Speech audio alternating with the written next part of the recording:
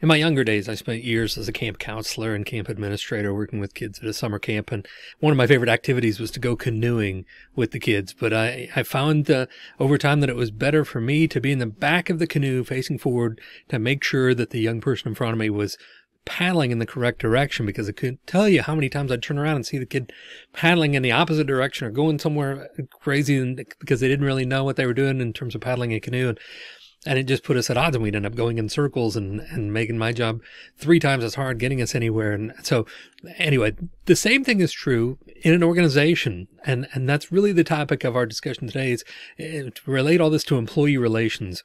Employee relations is just a company's efforts to manage relationships between employers and employees. And it, and it really, really helps when you're all paddling in the same direction. Both the management, the ownership and, and the uh, employees of an organization are all paddling in the same direction. And that's where public relations intersects with this idea of employee relations. So let's take a look at that in this week's video.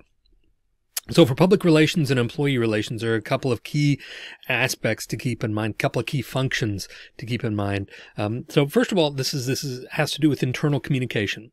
Right. So we're talking about communicating with people who work or are, you know, they could be employees in terms of we typically think of this as people who are paid to be at that organization, but this could also be as true for uh, volunteers in a non, in a nonprofit organization, or you know anybody really who's an internal stakeholder within the organization. So we're going to talk about it as though they are employees, as though they are paid to be there, but this could also be just as true, these things for um, people who are volunteering in an organization or whatever. But we're talking about internal communication, communication that's intended to connect and, and inform people that work within that organization. This is not um, just, you know, randomly public information. It's not advertising. It's not whatever. It's just intend, intended to again, communicate to those internal stakeholders, people who are what we call on the inside of that organization. Uh, this also is very much connected to corporate culture. Corporate culture is just that, that intersection of, you know, your physical environment. So, so where you're literally doing the work, where, where you are physically located to do that, the behavior patterns that are, that are, you know, accepted norms within that organization, and then the attitudes and beliefs that the, that the organization itself and the leadership and the management of that organization put forward, all of those things combine to create what we would call corporate culture. So uh, part of how we develop and maintain and and uh, and communicate that is through employee relations and employee communication. Right? Corporate culture is an important part of of uh, employee relations in terms of the the the vibe that we have in an organization and, and that we want to create, what kind of organization we want to create, and uh, what kind of kind of feel we want to have internally, and and so corporate culture is an important part of employee relations. And then also you can't underestimate the, the role of leadership here in employee relations. Leaders set the tone. They also have to be responsive to those around them, but uh, but leaders really do um, set the tone for for employee relations and how um, they're going to go, both in the way that they communicate and what they communicate, how they behave, all these different things. So, leadership is, an, is a critical aspect of employee relations at every level. Anybody who has people who report to them or, or, work under them is a leader. And so leadership at every level of an organization sets that tone, sets that standard, and it does kind of trickle down from the top, but, but it's important at every level. So, um, so internal communication, corporate culture, leadership, these are all important kind of aspects, or, or if you want to think of them as kind of the legs of the three-legged stool of, of employee relations, that's where it comes from. These, this idea of internal communication, corporate culture, and leadership all um, go into employee relations. So why do we care about this? What are some of the benefits of employee communication and, and, and more importantly, positive employee relations, positive employee communication? What are some of the benefits here? First of all, it, it, it allows an organization to be effective in the sharing of goals. So again, to make sure that we're all paddling in the same direction, we have to have the same goal in mind. And so as an organization, we uh, communicate with our employees so that we can communicate these are our goals. Sometimes they're very specific or short-term goals, like this is our this is our quota for the day or this is what we're driving for in the next week or two weeks or whatever.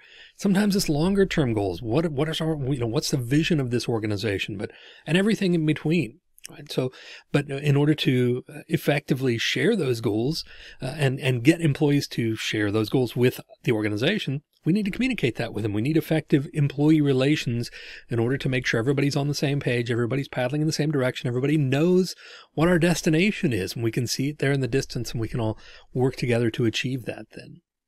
Uh, another benefit of employee effective employee communication, effective employee relations is enhanced teamwork. Um, teamwork is really important. People uh, oftentimes, myself included, get get uh, kind of distraught over working in a team. Sometimes we think, oh, I can do better on my own or whatever. But but the reason we work in groups and teams so much is because it is much more effective in the long run. So uh, we ought to do so as effectively as possible. We want to do so as effectively as possible. And effective employee relations can help enhance that sense of teamwork and, and smooth out the rougher edges of working in groups. And, and so it can enhance this idea of teamwork and make that more effective within an organization. It can also raise employee morale. It can lead to higher employee morale when the, when employees feel good about what we're doing and where they're working and they don't dread coming to work and being there. And, and you know, they just have this positive feeling of what we're doing there, where we're headed, that they're part of a team, that they're, you know, all of that stuff leads to higher employee morale, which leads to greater productivity. So there is a, you know, something on the bottom line here for the organization, but better employee morale leads to lower turnover. It leads to lower uh, absenteeism, leads to higher productivity in the workplace. So uh, higher employee morale should be a concern there. The, you know, the old school would say, well, who cares if the employees are happy as long as they're doing their job? But in reality, people do their job uh, better and more effectively and are more productive when they feel good about where they're at and what they're doing in the organization that they're with. So, uh, and that's especially true as we get into younger generations, the millennials, Gen Zs. So, you know, those, those types of generations uh, place increased value on just being happy where they work and, and, and being able to buy into the, um, to the corporate um, goals. And so um, being able to communicate effectively with them and develop those positive employee relations will lead to that higher employee morale. You also see a better adaptation amongst employees to risk, opportunity, and change when they are informed, when they are engaged, when, when you have these effective employee relations, they'll handle change better. You know, when you have a massive uh, organizational change or you're changing a process or, you know, you're entering a time where there's a, a risk factor involved. And so things are a little less steady or there's an opportunity that you as an organization want to pursue, which will oftentimes again carry with it some risk maybe but you're going to have a better uh, chance of, of securing employee buying, buy-in and, and support and better productivity. All, again, all those things that, that will lend to the ability to better adapt to these things with more effective employee relations. When employees know what's going on, they see it coming, and the, and they have that faith, they have that trust in the organization um, that that is built into you know kind of cooked in with this effective employee relations. Then you'll see employee an employee workforce or volunteer force with a better ability to adapt to those things like risk and change. And finally, you see increased clarity of policies and structures people just know better what's going on. They know what the expectations are of an organization. They know what the structure is and who they should go to and ask about different things. And, and so you just see a, more effective workforce in those regards as well. When there's increased clarity because of that more effective uh, communication, increased clarity within the policies of an organization and within the structure of an organization that benefits everyone as well and just keeps those gears working more smoothly. Kind of greases things up a little bit. Um, so you don't have as many, as much downtime. You don't have as many people confused by what they should be doing. Again, it's just better productivity. So again, uh, effective employee communication is just not only is it the right thing to do, but it's the right thing in a business sense for making things go more smoothly and run more effectively. Okay. So we talked about corporate culture a little bit. So, uh, and, and the importance of a corporate culture in all of this. So let's take a look at what defines effective corporate culture just briefly here. We're just going to touch on each of these things. But when we say effective corporate culture, what are we talking about? Those things that, that lead to uh, more effective employee relations through corporate culture. So first of all, constructive relationships. Uh, we need a corporate culture that emphasizes constructive relationships, relationships that allow people to work effectively with one another and have that positive effect. Again, if there's somebody in the cubicle next door or on the line next to you that you're just like, I don't even want to go to that person. I don't want to talk to that person. That slows things down. It's not, it doesn't create an effective corporate culture. It doesn't create better productivity and it does the opposite of all that. So we want those constructive relationships. We need a culture that that emphasizes those effective relationships amongst employee working relationships. Doesn't mean you have to be best friends with everybody, but you ought to be able to work alongside somebody and not hesitate to ask them a question or whatever. Effective corporate culture will also empower employees, will give them some latitude to kind of um, make decisions based on what they know best and, and, you know, within the limited framework and within the framework of the organization, allow them, empower them to um, pursue those things that will benefit the organization in that moment. So we ought to be empowering employees to, to better themselves, better the organization and, and have that kind of impact all over. Uh, we need a corporate col- uh, culture that emphasizes morality and honesty.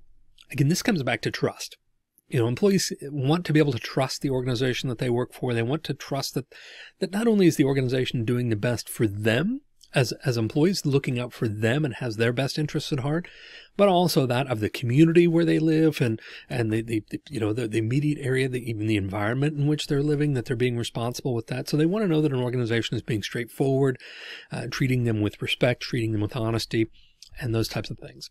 Connected to that, they want an organization, you know, an organizational culture that, that emphasizes social consciousness, meaning the organization understands that it's not out here on its own. It's part of a community. This organization is part of a community, has some responsibilities in that we've talked about corporate social responsibility in, in, in previous videos and, and, and throughout our discussion of public relations, the importance of corporate social responsibility. That is part of developing an effective corporate culture and a positive corporate culture is, is really being cognizant of that corporate social responsibility and, uh, and, and really not just giving it lip service, but really following through on that. And then diversity. We need a diverse workforce. A corporate culture needs to be diverse and not just diverse in the sense of racial and ethnic backgrounds, although that's, that's good too, but diversity of ideas, diversity of thought, diversity of ways of doing things. You know, you need as many tools in that toolbox as you can get that do different things. You don't build a house with just a hammer.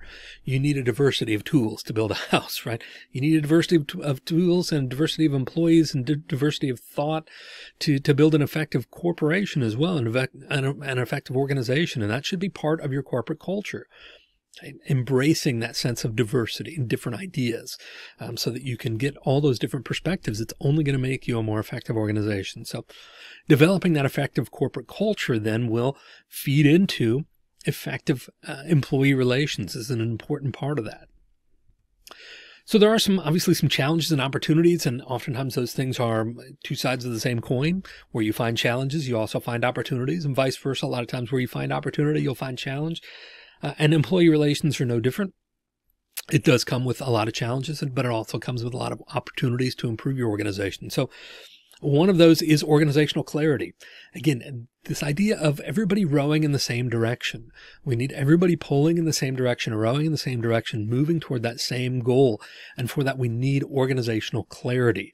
Uh, effective employee relations and employee communication can provide that for an organization, can provide that clarity can, and give everybody that common goal and help everybody to move in the same direction and be moving in unison and not working against one another. There are also opportunities and challenges that, that exist within different communication tools and different tools that you can use for employee relations. So for example, an intranet, whether that's a, a corporate website, an internal company website, whether it's an app, if you're very spread out and, and you just, you know, maybe not, uh, if you're a large retail organization, for example, not everybody may have access to the corporate, uh, in, you know, through a computer, through the, to the corporate intranet. So a lot of organizations are developing apps, internal corporate apps to, uh, to, keep people informed and to and to keep people connected. But you can use that intranet intra meaning within, meaning it's not for public consumption. It's really just for employees and there are different tools and resources there that are for uh, employees specifically. You can use that to help connect people, connect connect them with information, connect them with resources, connect them with one another, keep them informed. That company intranet or organizational intranet can be a really effective tool. Video storytelling can be very powerful. Access to anybody can make a video anymore, right? You almost have in your pocket in your cell phone, you have basically a Hollywood, what would have been a Hollywood style camera 10, 15 years ago, the same quality of camera. So everybody can make a movie, everybody can make a video, and it's really easy to share those now. So, um, as evidenced by the fact that you're watching this video on the, on the internet somewhere, you know, it's available through, uh, through the internet. So we can tell stories though. We can tell powerful stories through video and, and communicate them in a very powerful and personal way because everyone has a story and we can share that. We can utilize that as a tool in employee relations to allow employees to tell their story. So video storytelling can be one, uh, you know, a powerful tool there as well. And one last one, this is not the last tool period, but one last one that we'll talk about here are different employee programs. Obviously organizations offer a lot of programs like maybe health insurance or, you know, things like that, but you can expand that. You can offer wellness programs. You can offer pet insurance. You can offer, you know, all kinds of different incentive programs for employees and uh, ways for them to uh, take advantage of those things and uh, those pooled resources that can come with large organizations. And so we can offer employee programs uh, on a variety of things, maybe some travel incentives or, or whatever it is that your employees tell you that they want. We can offer those programs collectively in order to enhance the employee relations that we have um, within that organization. So we can communicate uh, through, uh, you know, all kinds of different tools. There are almost an infinite way, number of ways that we can communicate. So the important thing is that we find what's going to be most effective for our employees, our specific audience internally, and that we utilize those to the best of our ability then to enhance employee relations. Then finally, another opportunity that we have, which, you know, can also uh, end up being a challenge, but, uh, but an opportunity certainly is corporate social responsibility. Again, employees are keenly aware that this organization is a part of their community and hopefully an important part of their community. And so they want to see that organization doing the best they can for those people who live in that area and are involved in that community and, and not just the people, but the, the, you know, being good stewards of the, the land around you and, and, you know, not dumping toxic chemicals into whatever land or water resources that you have. But we, they want organizations that are going to be on the lookout for how they can better their community uh, in every possible way, both the people and the environment and, and, uh, and just engage in good corporate social responsibility. They want to work for an organization that they can be proud of and say, yes, I am extremely proud to be a member of this team. And that's what you want as well. It's going to be great uh, um, for your, your uh, community relations. It's going to be good for your employee uh, status in terms of uh, retention and turnover and things like that. It's just good all the way around. So corporate social responsibility is an important part of employee relations as well. You know, in the in the end, we need to remember that employee that a company or an organization is not made up of necessarily these physical piece. It's not made up of machinery and things like that so much as it's made up of people. Uh, any organization is only as good as the people that it has uh, involved in it and working for it and working toward the same goal. So it's important that we give those people our, our attention and that we connect with them and that we develop those relationships through effective employee relations and through effective employee communication. And that is part of our responsibility. It, it falls uh, logically in the realm of public relations. So it's an area that we should, as public relations um, practitioners and students of that, uh, be uh, engaged with and involved in, and, figuring out how we can um, add to that in a positive way. If you have questions about employee relations, about employee communication, please feel free to email me. Love to hear from you there. In the meantime, I hope you have a, a, new perspective on employee relations and the importance of those people within the organization to that organization and the different ways that we can reach them and why that that's just positive for everybody around, both the organization itself and the employees that are involved. It's, it's a win-win-win all the way around when it's done effectively.